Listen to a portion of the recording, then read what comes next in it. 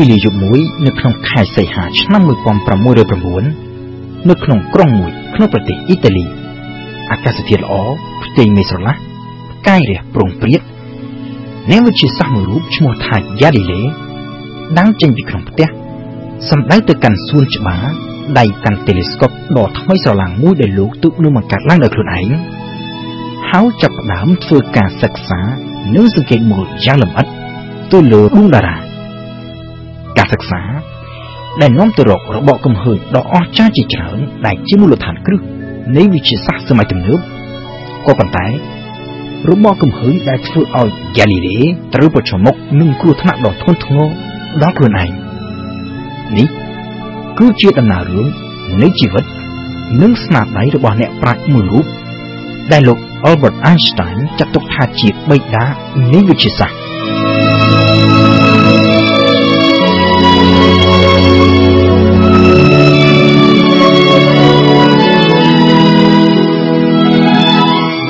ហ្គាលីលេ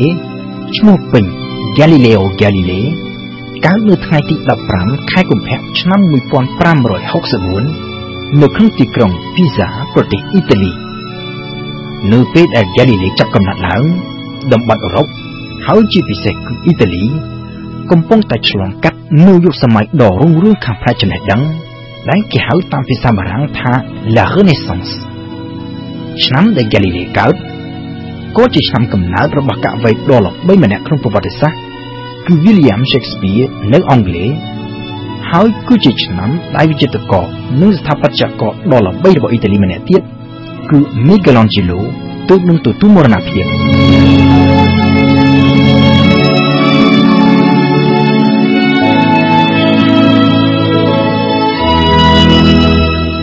Galilei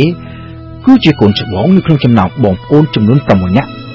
នៃត្រកូលអ្នកមានឋានៈមជ្ឈិមម្នាក់ដែលមានឪពុកជាតន្ត្រីករឪពុករបស់ Galilei ត្រូវបានគេស្គាល់ថាជាតន្ត្រីករដែលមានគំនិតបះបោរចូលចិត្តលេងភ្លេងនិងនិពន្ធបទភ្លេងដែលខុសពីទំនៀមទម្លាប់ក្បួនខ្នាតនិងទ្រឹស្ដីតន្ត្រីដែលមានពីមុនពីមុន Galilei ខ្លួនឯងក៏ជាមនុស្សដែលមានគំនិតបះបោរចោកសួរសង្ស័យទៅលើជំនឿនិងទ្រឹស្ដីដែលមានស្រាប់ដោយកាត់ទៅរកឪពុក តាំងពីនៅជាកុមារនៅឡើយ Galilei គឺជាក្មេងដែលពូកែឆ្ងល់ចង់ដឹងគ្រប់សពបែបយ៉ាងហើយជារឿយៗ Galilei រុះរើឧបករណ៍គ្រប់សពបែបយ៉ាងទាំងអស់ដើម្បីចង់មើលពីគ្រឿងក្នុង និងអំពីរបៀបដំណើរការរបស់វាហើយព្រមទាំងចេះធ្វើគ្រឿងលេងប្លែកៗប្រកបដោយគំនិតច្នៃប្រឌិតកាលពីដំបូងឡើយ Galilei មានចំណង់ចំណូលចិត្តទៅលើដូរតន្ត្រីនិងគំនូរ Galilei រៀនគូររូប ព្រមទាំងរៀនភ្លេងរហូតចេះបានយ៉ាងស្ទាត់ជំនាញក្រោយមកទៀតនៅពេលដែលត្រូវឪពុកម្ដាយបញ្ជូនឲ្យទៅរៀននៅក្នុងវិហារកាតូលិក Galilei ចាប់ផ្ដើមចាប់អារម្មណ៍ទៅលើសាសនារហូតមានបំណងចង់បួសជាសង្ឃកាតូលិកក៏ប៉ុន្តែនៅពេលនោះឪពុករបស់ Galilei មិនចង់ឲ្យកូនបួសជាសង្ឃក៏បានជំរុញឲ្យ Galilei ចេញពីវិហារកាតូលិកហើយទៅចុះឈ្មោះចូលរៀននៅសាកលវិទ្យាល័យ Pisa ដោយរៀនខាងផ្នែកវិទ្យាសាស្ត្រដោយសារតែនៅពេលនោះគ្រូពេទ្យគឺជាអាជីពមួយដែលអាចរកលុយបានច្រើន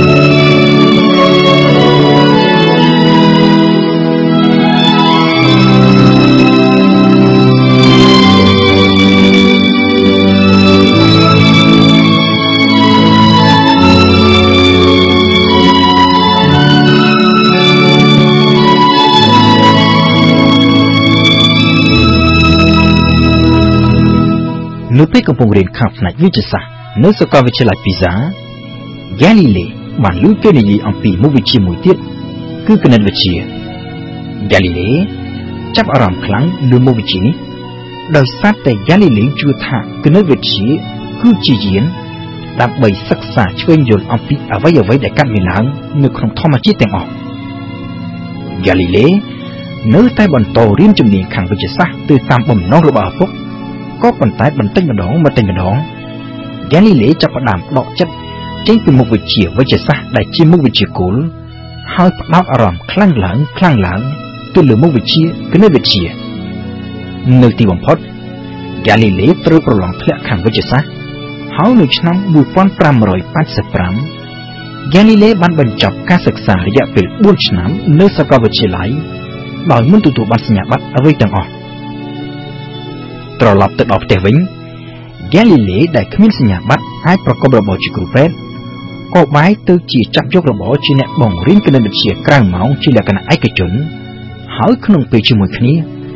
ហ្គាលីលេចំណាយពេលសិក្សាស្រាវជ្រាវពង្រឹងចំណេះដឹងខ្លួនឯងព្រមទាំងយកចំណេះដឹងនិងគំនិតច្នៃប្រឌិតរបស់លោកទៅបង្កើតជាឧបករណ៍ប្រើប្រាស់មួយចំនួនដែលផ្លែកមិនធ្លាប់មានហើយដែលមានប្រយោជន៍ច្រើននៅក្នុងសង្គម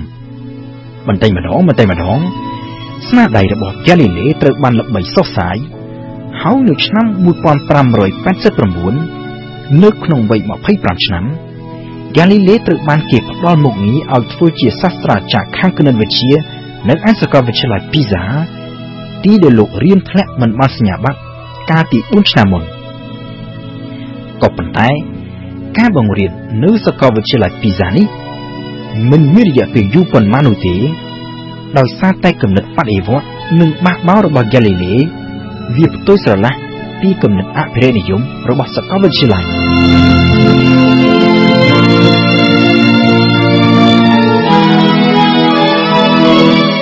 នៅសាកលវិទ្យាល័យពីសារាល់សេចក្តីបង្រៀនទាំងអស់ចាំបាច់ត្រូវតែឈរទៅលើគោលការណ៍ដែលបានបន្សល់ទុកដោយអ្នកប្រាជ្ញវិរិទ្ធជាពិសេសគឺអារីស្តូត ដែលបានបង្កើតទ្រឹស្ដីជាច្រើនទាំងខាងផ្នែកទស្សនវិជ្ជានិងវិទ្យាសាស្ត្រ Galilei វិញធ្វើខុសពីទំនៀមទម្លាប់របស់សាកលវិទ្យាល័យដោយនៅក្នុងពេលបង្រៀនសាស្ត្រ Galilei បានធ្វើការចោទសួរជជែកដេញដោលនិងបង្ហាញពីមន្ទិលសង្ស័យចំពោះទ្រឹស្ដីខ្លះរបស់អារីស្តូតនៅឆ្នាំ1591បង្រៀនបានត្រឹមតែ3ឆ្នាំកិច្ចសន្យារបស់ Galilei នៅសាកលវិទ្យាល័យ Pisa ត្រូវបញ្ចប់ ហើយ Galilei ត្រូវក្លាយទៅជាអ្នកអត់ការងារធ្វើដើរតខ្ចោះព្រមពេលជាមួយគ្នានោះស្ថានភាពគ្រួសាររបស់ Galilei ត្រូវជួបនឹងភាពត្រដាប់ត្រឌូសយ៉ាងខ្លាំងដោយសារតែឪពុករបស់ Galilei ត្រូវទទួលមរណភាពហើយម្ដាយនិងប្អូនស្រីពីរនាក់ផ្សេងទៀតពឹងផ្អែកខ្លាំងលើ Galilei ដើម្បីផ្គត់ផ្គង់ជីវភាពគ្រួសារសំណាងល្អប្រមាណត្រឹមតែមួយឆ្នាំក្រោយមក Galilei ត្រូវបានសាកលវិទ្យាល័យមួយផ្សេងទៀតហៅទៅបង្រៀនគឺសាកលវិទ្យាល័យប៉ាឌូនៅពេលនោះ Galilei កំពុងតែស្ថិតនៅក្នុងសភាពក្រីក្រខ្លាំងរហូតគ្មានលុយសោះក្នុងការធ្វើដំណើរហើយត្រូវធ្វើដំណើរដោយថ្មើរជើងទៅកាន់សាកលវិទ្យាល័យប៉ាឌូដែលមានចម្ងាយរហូតដល់ទៅ160គីឡូម៉ែត្រពីផ្ទះក៏ប៉ុន្តែប៉ុន្មានឆ្នាំនៅប៉ាឌូត្រូវបាន Galilei រាប់ថាជារយៈពេលដ៏មានសុភមង្គលមួយនៅក្នុងជីវិតរបស់លោក សាកលវិទ្យាល័យប៉ាឌូមិនត្រឹមតែផ្ដល់ប្រាក់ខែច្រើនជាងនោះទេក៏ប៉ុន្តែជាងនេះទៅទៀតវាគឺជាកន្លែងដែលប្រកាន់យកនូវគំនិតសេរីនិយមបើកចំហឲ្យសាស្ត្រាចារ្យនិងនិស្សិតប្រកាន់យកនូវគំនិតផ្ទាល់ខ្លួនផ្ទុយស្រណះពីគំនិតអភិរក្សនិយមនៅសាកលវិទ្យាល័យពីសាគំនិតបដិវត្តនិងបះបោររបស់ Galilei មិនត្រឹមតែមិនត្រូវបានគេហាមឃាត់ផ្ទុយទៅវិញ សាកលវិទ្យាល័យប៉ាឌូបានតែងតាំង Galilei ឲ្យធ្វើជាប្រធានផ្នែកគណិតវិទ្យាហើយបន្តកាន់តំណែងនេះអស់រយៈពេល18ឆ្នាំនៅក្នុងសាកលវិទ្យាល័យដែលមានគំនិតសេរីនិយមនេះហើយដែល Galilei បានធ្វើការសិក្សាពិសោធន៍ស្រាវជ្រាវនិងរកឃើញនូវគោលការណ៍សំខាន់សំខាន់ជាច្រើនទាំងខាងផ្នែកគណិតវិទ្យានិងខាងផ្នែកវិទ្យាសាស្ត្រជាទូទៅដែលបើកផ្លូវទៅរកបដិវត្តដ៏សំខាន់មួយខាងផ្នែកវិទ្យាសាស្ត្រ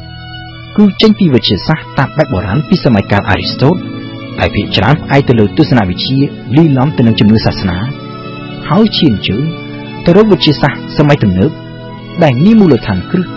ឈលលើការសង្កេតនិងការពិសោធន៍ជាក់ស្ដែង។